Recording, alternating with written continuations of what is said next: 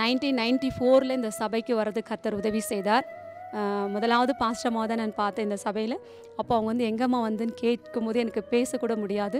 அப்போ அவங்க சொன்ன வார்த்தை இஸ்ரவேலின் தேவனாகிய கத்திரிடத்தில் வந்தவனுக்கு செட்டையின் கீழே வந்தவனுக்கு அவரால் நிறைவான பலன் உண்டாயிருக்கும்.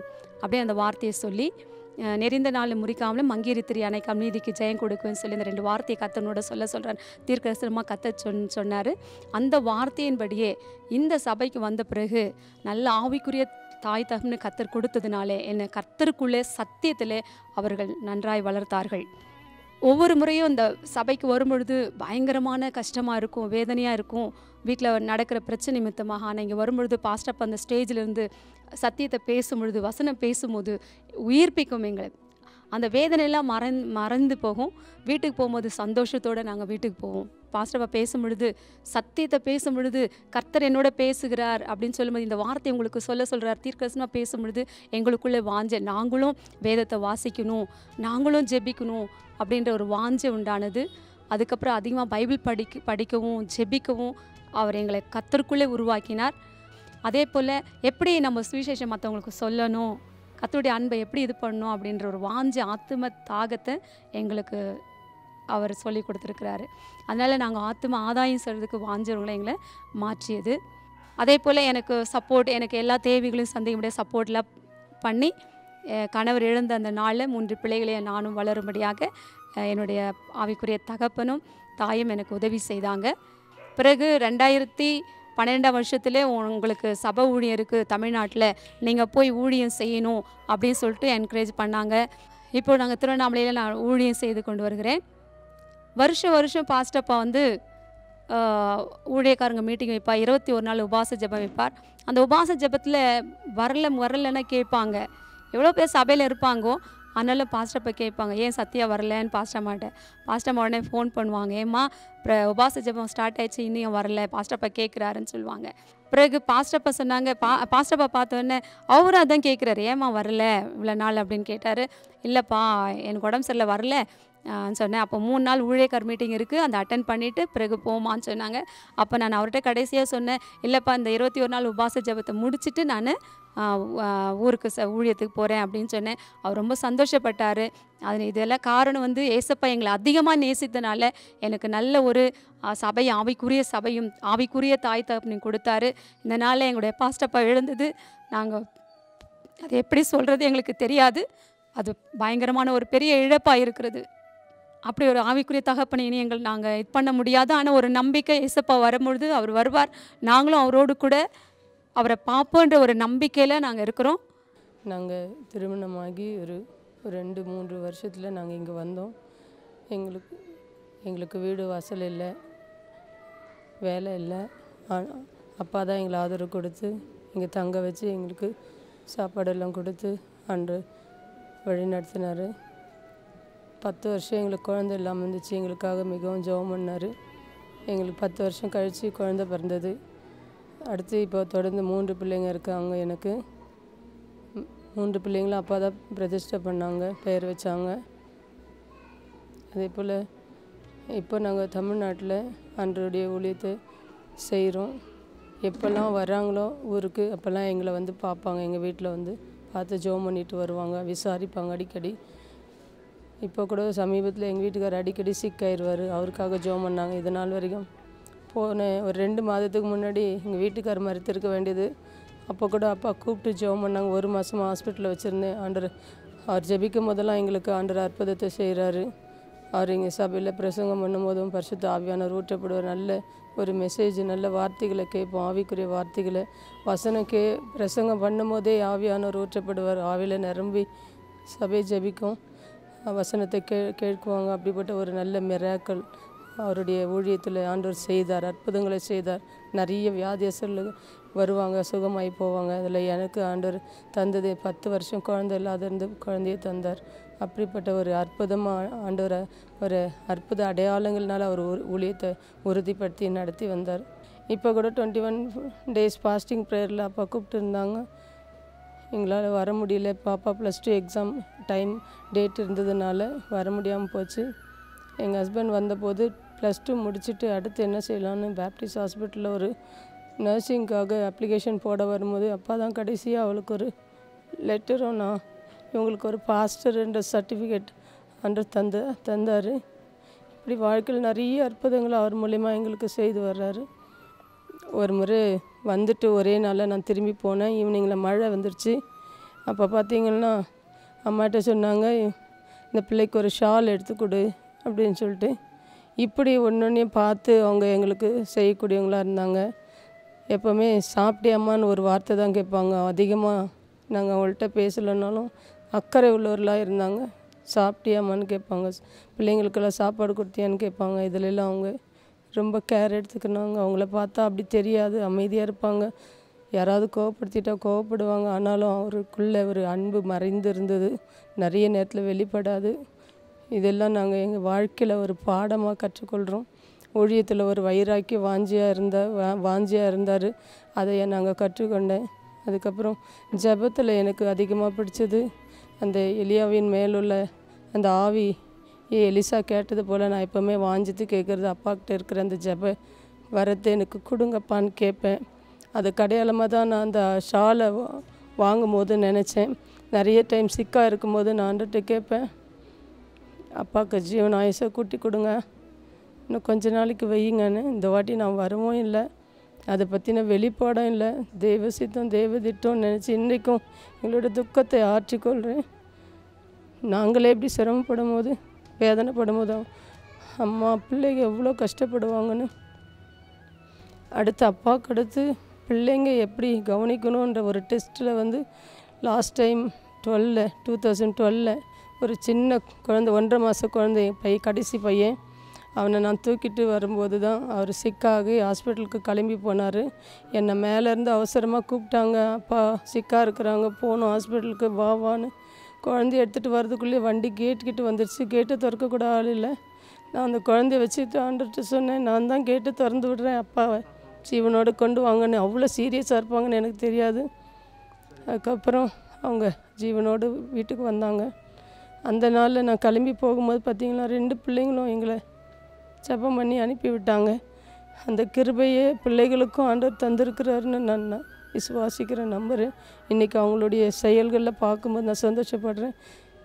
இல்லை ஒரு ஊழியக்காரராக பிரசங்கிக்கிறவர்களாக இருக்கிறாங்க. அதுக்காக நான் ஆண்டவருக்கு நன்றி செலுத்துகிறேன். கர்த்தர் தந்த இந்த சிறு சாட்சிக்காய் நன்றி. ரெண்டாயிரத்தி ரெண்டில் இங்கே வந்தேன் சபைக்கு சபைக்கு வந்து என் எனக்கு அப்பா அம்மா கிடையாது. என்னை ஒரு அப்பா அம்மாவாக இருந்து பாஸ்ட்ரு பாஸ்டம் பாஸ்டம்மா ரெண்டு பேரும் என்னை நல்லா ஒரு ஆவிக்கூட ஆவிக்கூட வாழ்க்கையில் வளர்த்தாங்க வளர்த்து அவருக்கு நல்ல ஒரு பணிவிடையாக நல்ல ஆனால் அப்பப்போ அவர் சிக்காயிடுவார். அப்பப்போ சிக்காகும் போது ரெண்டாயிரத்தி அதை அது பன்னெண்டில் தான் அவருக்கு ரொம்ப சிக்கானது. அப்போத்துலேருந்து நாங்கள் தான் கூட இருந்து அவங்களுக்கு என்ன செய்யணும் ஏது செய்யணுன்ட்டு பாஸ்டமாக தான் நம்மளுக்கு சொல்லி கொடுப்பாங்க. எப்படி அப்பாவுக்கு எப்படி செய்யணுமா? கார் இல்லாமல் எதுவுமே இல்லாமல் அவங்களுக்கு சாப்பாடு எப்படி செஞ்சு கொடுக்குறது? அதெல்லாம் நம்மளுக்கு நான் சுதாக்கா ஏமா நாங்கள் எல்லாம் ஒரு இதுவாக வளர்ந்து வளர்க்க வளர்க்க வச்சாங்க. நல்லா வளர்ந் வளர்த்து வச்சுட்டு ஒரு ஒரு ஊழியத்தில் எங்களை ஆளாக்குனாங்க. அப்புறமா திருமண காரியத்தில் கூட நல்ல ஒரு ஒரு ஆய்வுக்குறை இதில் தான் நம்மளை வழக்கத்தை வச்சு திருமண காரியங்களை கூட நல்லா திருமணம் செஞ்சு கொடுத்தாங்க. கொடுத்துட்டு அப்புறம் நாங்கள் ஊழியத்தின் ஊழியத்தில் போய் நீங்கள் ஊழியம் செய்யுங்க அப்படின்ட்டு நல்லா என்கரேஜ் பண்ணி எங்களை ஊழியத்தில் வளர்த்து விட்டாங்க. அப்புறம் நிறைய எங்கள் வாழ்க்கையில் அவங்க நெ நிறைய செஞ்சுருக்காங்க. நிறைய செஞ்சு அப்புறம் எங்களை நல்ல ஒரு ஒரு ஆவிக்குரிய வாழ்க்கையில் நல்ல ஒரு இது வளர்த்து விட்டாங்க எங்களை. அண்ட் நாங்கள் வெளியே போகும்போது கூட அதெல்லாம் நாங்கள் எங்கள் வாழ்க்கையின் அனுபவத்தில் கொண்டு வரோம் நம் பாஸ்டப்பா மாதிரி இருக்கணும். அவர் எப்படி வைராக்கியமாக இருக்கிறாங்க அந்த மாதிரி நாங்களும் இருக்கணும். ஊழியத்தில் நல்லா இதுவாக இருக்கணும் அப்படின்ட்டு தான் நிஜமாக அவங்களோட வாழ்க்கையில் நிறைய நான் கற்றுக்கொண்டேன். எப்போனா நான் எதனா சா சாப்பாடு எதனா பாஸ்டர்ஸ் மீட்டிங் எதனா அவுட் ஏ எனக்கு டீ போட்டு கொடு புள்ள. அப்படின்னுவாங்க. பாருங்கள் இப்போ எந்த அந்த பிள்ளைய போய் கூப்பிடுங்க போய் கொஞ்சம் கூப்பிட்டு டீ போட சொல்லுங்கள் அப்படின்ட்டு சொல்லுவார். ஒரு டைம் ஆனால் ஒரு டைம் அவருக்கு எதனா கோவம் வந்துடுச்சுன்னா அப்போ ரொம்ப டென்ஷனாக இருப்பார். இருந்தாலும் அப்புறமா அந்த கொஞ்ச நேரம் தான் அந்த கோவம் இருக்கும். ஆனால் அப்புறமா நினச்சி ஐயோ அந்த பிள்ளைங்களை நான் திட்டிட்டேனே. இப்படியெல்லாம் இது பண்ணிட்டேன்ட்டு ரொம்ப ஃபீல் பண்ணியிருக்காங்க அந்த மாதிரியெல்லாம் ஃபீல் பண்ணது யாருமே இல்லை. ஒரு தாய் கூட தாய் தகப்பன் இருந்தால் கூட அந்த மாதிரி ஃபீல் பண்ண மாட்டாங்க. நம்மளை அப்படி வளர்த்தாங்க. ஒரு நல்ல இதில் நம்மளை வளர்த்து வச்சுட்டு நிஜமாக இந்த டைமில் அவங்கள அவரை நினச்சி பார்த்தா எனக்கு ரொம்ப துக்கமாக இருக்கு. இப்போ கூட நாங்கள் ஃபோன் பண்ணோம். அப்பா எப்படிப்பா இருக்கிறீங்கன்ட்டு ஃபோன் பண்ணதுக்கு வாங்க நீங்கள் சர்ச்சுக்கு சர்ச்சுக்கு வந்து ப்ரேயர் நடந்துனுக்குது வந்து நீங்கள் ப்ரேயர் அட்டன் பண்ணுங்கன்னு அந்த டைமில் நான் வரலங்க இவர் தான் எங்கள் வீட்டுக்காரர் தான் வந்தார். நான் ஒரு அந்த டைமில் நான் வந்து பார்க்குறதுக்கு எனக்கு டைம் இரு வரல வர முடியல. இருந்தாலும் எனக்கு ரொம்ப ஒரு மாதிரி துக்கமாக இருந்துச்சுங்க அப்பா அம்மா இல்லை இருந்தாலும் அவர் எனக்கு ஒரு அப்பாவா என் கூட இருந்து நல்லா ஒரு என்கரேஜ்மெண்ட் பண்ணார். நிஜமாக அந்த அப்பா உணர்வு அவங்க அவர்கிட்ட தான் நான் பார்த்தேன். நல்ல ஒரு ஆவிக்குற அப்பா. ஆனால் இப்போ நான் ரொம்ப மிஸ் பண்ணுறேன் அவரை. அப்பாவை பற்றி பெருமையாக பேசுகிறது என்னென்னா அவருடைய இருதயத்தில் வெறும் வசனம் மட்டும்தான் இருந்துச்சு. அவர் எப்போ பேசினாலும் வசனத்தை வச்சு பேசுவார்.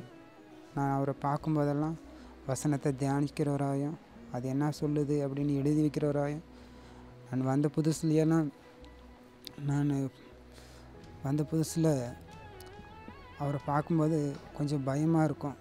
அதனால் நான் அவரை பார்த்தாவே கொஞ்சம் தூரமாகவே இருப்பேன். அதிகமாக யாரும் அவர்கிட்ட அதிகமாக பேச மாட்டேன். தூரமாகவே இருப்பேன். ஏன்னா அவர்கிட்ட போய் என்ன பேசுறது அவர் கேள்வி கேட்டார்னா என்ன பதில் சொல்கிறதுன்ட்டு எனக்கு தெரியாது. அதனால் நான் கொஞ்சம் பின்னாடியே தூரமாகவே இருப்பேன். ஏன்னா நான் சின்ன வயசுலேருந்து ரொம்ப தாழ்த்தப்பட்ட ஜாதின்றதுனால என்னை எல்லோரும் ஒதுக்கி வச்சு எல்லாம் அடிமைப்படுத்துகிற மாதிரி நடத்துனாங்க. அதனால் அவங்க நான் ரொம்ப என் தகப்பனை விட்டு ஆவிக்கு ஒரு தகப்பனை விட்டு நான் தூரமாகவே இருந்தேன். அப்பப்போ அவர் பேசுவார். என் தகப்பன் அவரை அவர் மூலியமாக நான் பார்த்தேன். எனக்கு அப்பா எங்கள் அப்பா பதிமூணு வயசுலேயே இறந்துட்டார். நான் அவரோட அவருடைய வார்த்தையெல்லாம் நான் கேட்கும்போது எங்கள் அப்பா தான் வந்து வார்த்தை மூலியமாக ஆவிக்குரிய தகப்பன் எனக்கு தேற்றினார். அப்புறமா நான் அதிகமாக பாஸ்ட்டுக்கிட்ட அதிகம் பேசி பேசிக்க மாட்டேன். ஆனாலும் அவர் என்னை அடிக்கடிக்கு பார்த்து என்னப்பா என்னப்பா எப்படி இருக்கிற அப்படி இப்படின்ட்டு சாப்பிட்டியா இதுன்னு கேட்பார். அப்புறமா என்னையும் ஒரு மனுஷனாக நினச்சி எனக்கு ஒரு எனக்கு ஒரு கௌரவம் கொடுக்குற மாதிரி எனக்கும் ஒரு கல்யாணம் பண்ணி எனக்கு ஒரு என்னையும் ஒரு குடும்பஸ்தனாக மாற்றினார் அப்புறமா ஃபாஸ்டிங் ப்ரேயர் வச்சுருக்காங்க அப்படின்னு அம்மா சொன்னாங்க. சரி அம்மாக்கிட்ட போய் பேசிட்டு அப்பாக்கிட்ட பேசிவிட்டு பேசிட்டு வந்துடலாம் அப்படின்ட்டு நான் வந்து ஃபாஸ்டிங் ப்ரேயர் கடைசி நாளில் தான் இருபத்தி நாலாந்தேதி இருபத்தஞ்சி திங்கக்கிழமை வந்தேன். திங்கக்கிழமை வந்துட்டு வசனம்லாம் கேட்ட பின்னாடி அப்பன்னு அப்பன்ட்டு எனக்கு ஜெபம் பண்ணுங்கன்னு போயிட்டு அவர் முன்னாடி போய் முட்டிக்கால் போட்டுக்கின்னு ஓ நான் வந்தேன். வீக்கி வீக்கி அழுந்தேன். அதை பார்த்துட்டு அழாத அழாத அழாதன்னார். இங்கே இருப்பியா? இல்லை வீட்டுக்கு போயிடுவியா அப்படின்னு கேட்டார். இல்லைப்பா நான் இங்கே தான் இருப்பேன் அப்படின்னு சொல் சரின்ட்டு சரி நான் டைலஸ் போயிட்டு வரேன் இங்கே இரு அப்படின்னு சொன்னார். சரின்னு டைலஸ் போயிட்டு வந்தார். அடுத்த நாள் வந்துட்டு அன்றைக்கி மன வசனம் சொன்ன வசனம்லாம் கேட்டு முடிச்சு பின்னாடி பின்னாடி சர்ச் என்ட்ரன்ஸில் பின்னாடி இருந்தார். போயிட்டு அப்போ என்ன மன்னிச்சிருங்கப்பா. நான் முக்கு இருதயத்துக்கு மனசு மனசு நோக்கிற மாதிரி போயிட்டோம். நீங்கள் கஷ்டப்படுவீங்க என்ன மன்னிச்சிருங்க அப்படின்னு கேட்டேன். அதெல்லாம் என்னதுப்பா மன்னிப்பு கேட்குறேன் அப்படின்ட்டு சரின்ட்டு என்ன செஞ்சுன்னு இருக்கிறாரு? நான் கிருஷ்ணகிரியில் சாமிநாதன் பாஸ்டருக்கு கிட்ட ஊழியம் என்னது சர்ச்சுக்கு போய் அங்கே ஒரு சில்ட்ரன்ஸ் மினிஸ்ட்ரிக்கெல்லாம் கூட்டின்னு போகிறாரு அப்படின்னு சொன்னேன் சரி அப்படியே செய் இது ரெண் உனக்கு இப்போ இது ரெண்டாவது சான்ஸு ஓலியம் செய் அப்படின்னு சொன்னார். அப்புறமா அடுத்த நாள் டயாலிசிஸ் போனார். போனவர்.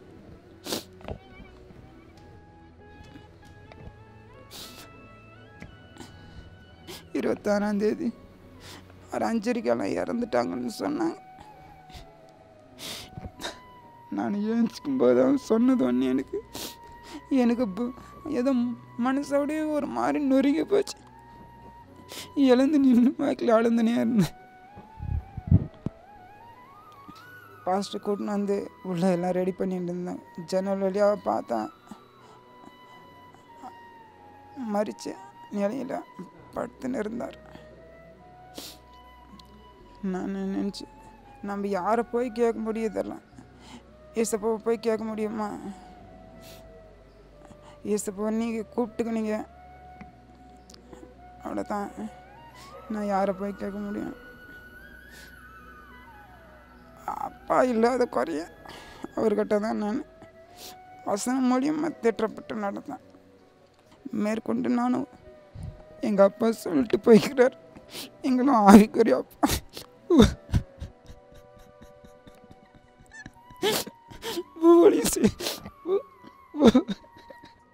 நான் இனிமேல் நான் ஊழிய செய்யணும்னு என் இருதயத்தில் இருக்கு ஆனால் தடைகள் அதிகமாக வருது. அநேகம் ஊழியத்திலும் சரி என்னதான் தடை வந்தாலும் கண்டிப்பாக நான் எங்கள் ஆவிக்குரிய தகப்பனார் சொல்லிட்டு போய்க்கிறார். நான் ஊழியம் செய்யணுன்ட்டு கண்டிப்பாக நான் செய்வேன். அதுக்கு ஆண்டு தான் எனக்கு கிருப்பை பாராட்டணும்.